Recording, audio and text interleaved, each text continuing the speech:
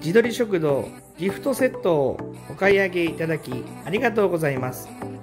それではギフトセットの食べ方をお伝えしますね。まず冷凍されたお肉を1日冷蔵庫に入れて解凍します。1日解凍したお肉を取り出します。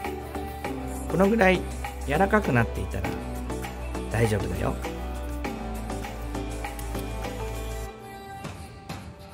それでは袋の切り方を教えるよ。まず袋の先端を切ってそして中に包丁を入れながら端の方を両脇を両脇に切り目を入れるよ。そうするとすごく取りやすくなるからね。それでは焼いていくよ。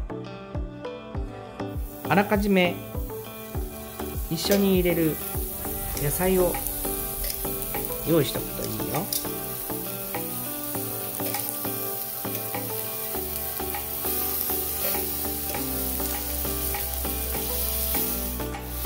焼いている時に粗挽き胡椒をかけるとさらに美味しいよ。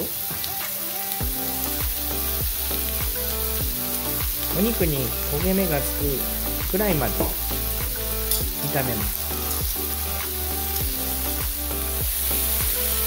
お肉から焼けてきたら野菜をどんどん入れていくよ。お肉の脂が野菜に染み込んで野菜が甘く美味しくなるよ。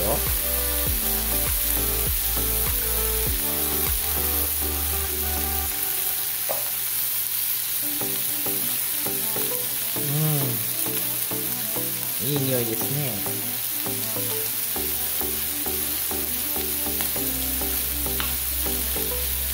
かぼちゃにピーマン。キャベツに人参。ネギと。こ